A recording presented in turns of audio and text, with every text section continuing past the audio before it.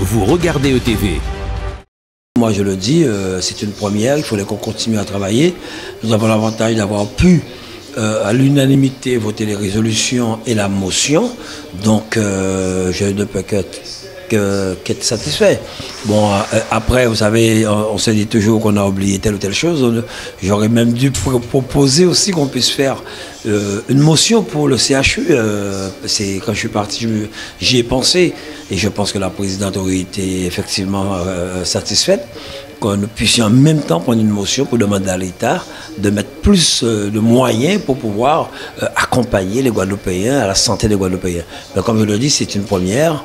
Par la suite, nos régions, nous prenons la main. Nous allons mettre en place un congrès. J'aurais souhaité, comme je l'ai discuté avec mes collègues élus, que nous puissions donner la parole aux Guadeloupéens, aux institutions, aux présidents d'associations, de ligues de comités, aux organisations euh, patronales, syndicales, et sans élus, et par la suite revenir euh, dans un congrès avec les élus.